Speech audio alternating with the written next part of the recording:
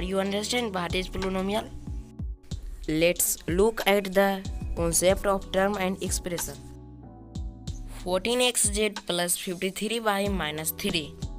There is the plus as well as minus sign here, which means that we have the three terms 14xz, 53y, and 3. The second expression is 23x square y minus 4y cube.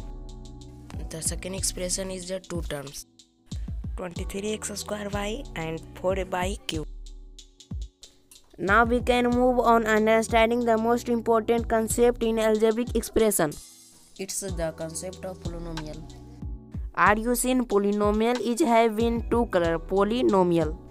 Poly means many, nomial means part. In the case of algebraic expression term. Now we come types of polynomial. There are three types of polynomial. One term, monomial. Two term, binomial. Three term, trinomial. One means more two means b, three means tree. Friends, please do not skip this video. This is the main part of polynomial. Friends, first one is monomial and the one term 7 one term 4x one term 3ab square only one term. 7 and 4x and 3ab square is only one one term.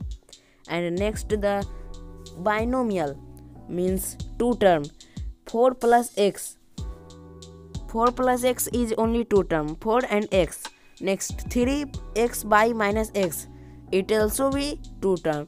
3x minus x. Next friends trinomial means three term 3 plus a plus b there are three terms 3ab next friend 3cd plus a plus 8 it is also three term thanks you friends please like share comments and subscribe my channel ms sirsi thanks for watching